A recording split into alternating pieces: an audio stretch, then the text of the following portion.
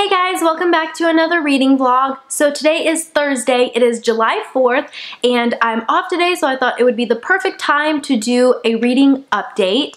So I'm currently in the middle of reading two books. So the first one I'm reading is Northern Lights by Nora Roberts.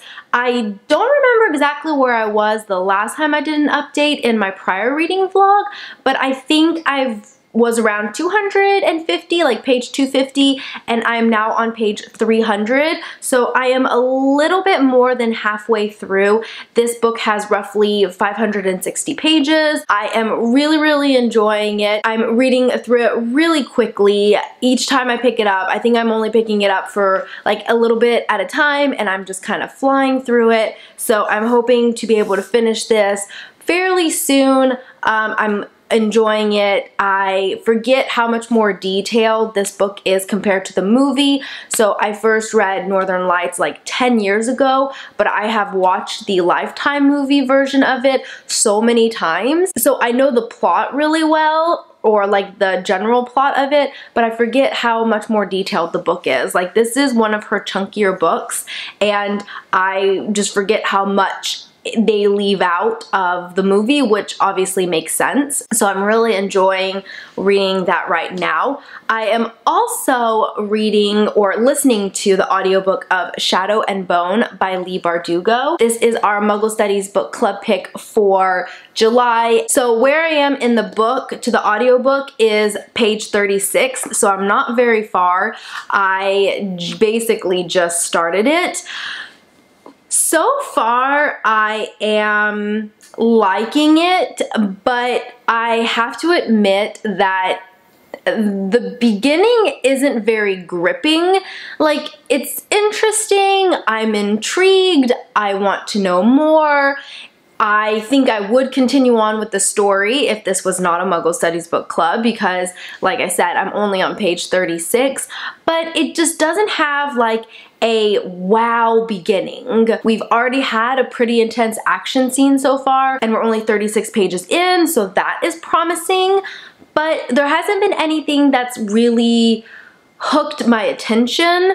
So hopefully it'll get a little bit better. I'm really hoping that it's not boring or kind of just mediocre. I really want to enjoy this book. I've heard so many good things about this universe or this world and so I really really want to enjoy it. So so far, like I said, I'm not hating it, but I'm not loving it. I'm just liking it. So that is pretty much it for what I am currently reading. I did want to touch base for the Newts readathon that is going to be happening in August, which I am so excited for. The YouTuber Book Roast, she just released the Newts announcement for August and all of the challenges that's required for the career that you chose. After completing the Owls readathon, I ended up becoming a Hogwarts professor and I do have to say I had wanted to double major and do Hogwarts professor with Cursebreaker but I have to admit that I'm really happy I didn't because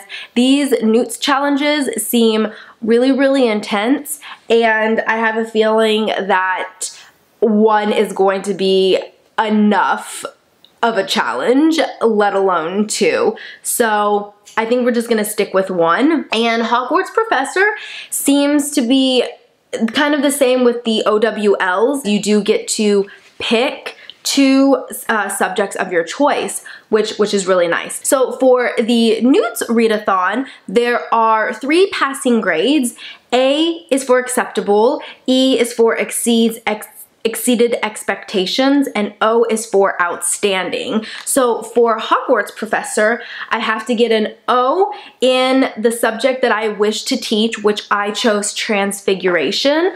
And so let me go, I downloaded the, um, I haven't printed it yet, but I did download the um, challenges. So for transfiguration, an O is uh, McGonagall does not mess around. Read a book over 500 pages. Oh my gosh. Maybe I should have just waited on Nora Roberts because this is 562 pages. So, dang. Okay. Wow. Okay, so that's gonna be tough. Um, then I have to get an E in Defense Against the Dark Arts. So let's go to Defense Against the Dark Arts. Um, that is Gilderoy's Memory Charm. Oh, I remember this one. This one is to, um, this one you have to pick the first book that comes to mind. I honestly can't think of anything right now that comes to mind. Um, I'm thinking of Harry Potter because of Harry Potter. So I think I may wait to do that one when I'm about to film my TBR video and think, uh, kind of like think of the book that first comes to mind. I don't know if that's cheating, but I'm just gonna try and kind of forget about this challenge. And then once I reread it in a couple weeks when I do my TBR um, video, then maybe it'll just come to me. Uh, I'll just pick the first book that comes to mind. But right now, all I'm thinking about is Harry Potter and the Sorcerer's Stone. So maybe I'll just go with that one because that's the first book that came to mind. And it's easy because I have it on audiobook and I have the physical book and I have the ebook of it. So Okay, we'll do that. I think I'm going to do Harry Potter and the Sorcerer's Stone for that one. But anyways, this isn't necessarily a TBR video. I just wanted to go through the challenges. Um, and then next I have to pick two secondary subjects and get two A's. So that'll be nice because the A's I believe are a little bit easier and I can just basically pick two subjects. So for August I am going to be reading Siege and Storm, which is going to be our Muggle Studies book club pick for that. So maybe I'll try and find a subject that I can use that book for since I do have to read it. I am very, very, very excited. Everything will be linked down below. So yeah, that is pretty much it for this update. I hope everyone had a great 4th of July and I will update you guys later.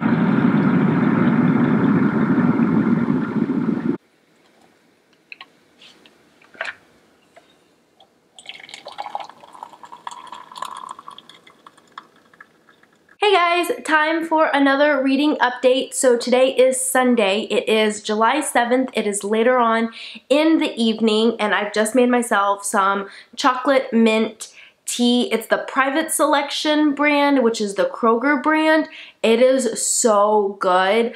If you're ever craving something kind of chocolatey and minty, I highly, highly recommend this tea. It is delicious and it kind of gives you that satisfaction of having something chocolatey without eating anything if you don't want to eat anything. So this is definitely like my go-to beverage if I'm ever craving something like that, like if I want candy or something, then I will make this tea. So as far as my reading progress, I haven't gotten much read physically, but I have listened to a bit more of my audiobook of Shadow and Bone. So last time I updated you, I was on page 36 and I had only listened to about I would say maybe like an hour in my audiobook. Now I'm on chapter 9. Let me see if I can find in the book where I am and how much progress I've made. Okay, so it looks like I basically just started chapter 9 because I'm only two minutes in. So I'm roughly on page 136. So I have read 100 pages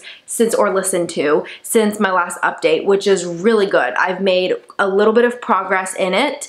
I am using my Star Wars bookmark. It says, a long time ago in a galaxy far, far away. I am pleased to say that I am enjoying it a lot more than when I first started it. So I know in my last clip I mentioned how I was liking it, it I wasn't loving it, but I wasn't hating it. It was a tad boring, like there wasn't really anything special about it. But I am pleased to say that I have changed my mind. So far, I'm really, really enjoying it. I think the story is unique, it's gripped me now, and I'm really excited to see where the story goes.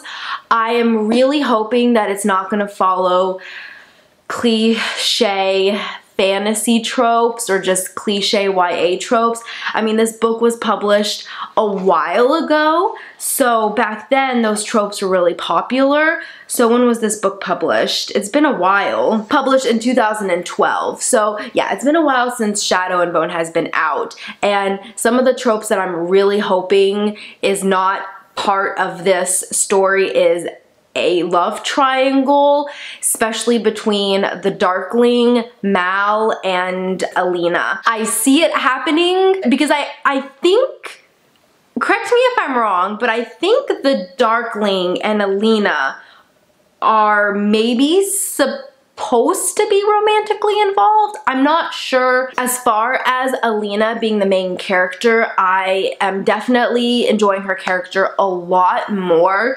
Granted, like I said, I was only 36 pages in, so of course there was room for improvement, but now I really, really, really am enjoying her character. I love how she is determined to not be different. She wants to be accepted. She wants to kind of blend in and she doesn't want to be the center of attention. I love that she is very confused in all of this and she is scared and she doesn't want this happening to her.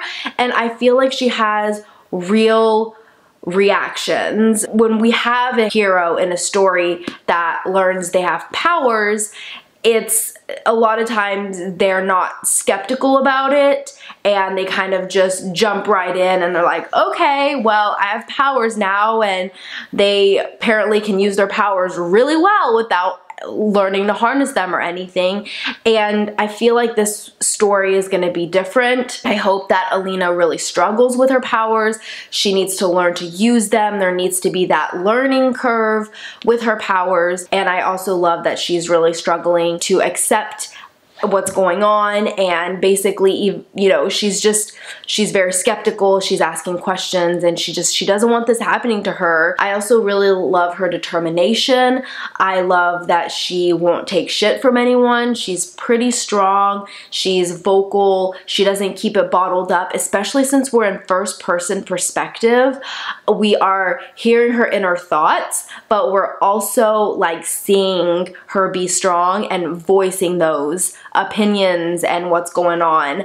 That is like one of my biggest pet peeves when it comes to just any like books that I read is when you read what the characters want to say and then they never do. We also have the Darkling who is a really interesting character. We don't know much about him yet, but I'm excited to learn more. We're also introduced to another Grisha, um, Genya, she is the tailor and she ends up becoming friends with Alina. I really like Genya. I think she's kind of sassy and I am excited to see more from her. This book is fairly plot driven so far. We've already had two or three intense um, like action scenes in only 136 pages, which is pretty good. So I'm quite pleased with that. Not as much world building, but we're getting some. It's very slow.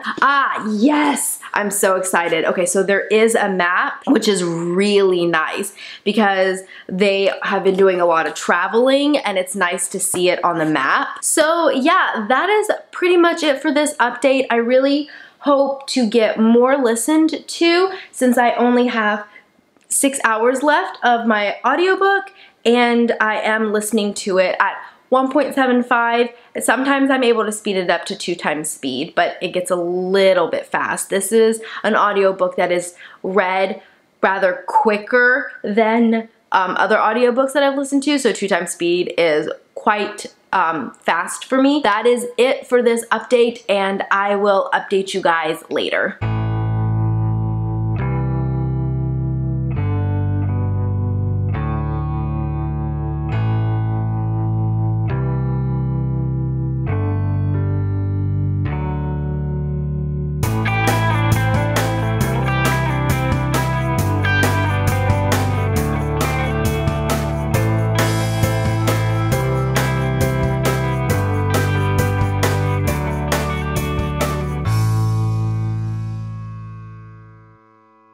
Guys, so time for another reading update. So it's been quite a few days since my last reading update. I just got really, really busy, but I am ready to be productive tonight.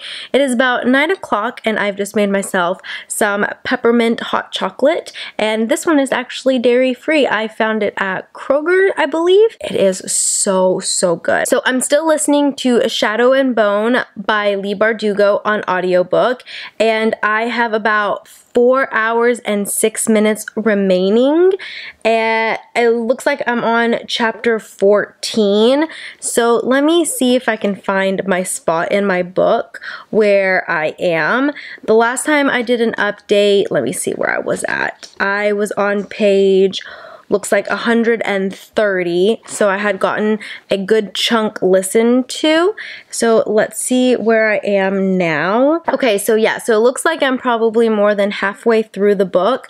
I am now on page 210. So yeah, I've made quite a bit of progress. As of right now, I am enjoying it a lot more than when I first started it. It's plateaued a little bit as far as plot. It's not as intense as it was and it's not as exciting. So I really hope that it starts to kind of pick up soon, especially since we're starting to get towards like the second half of the book.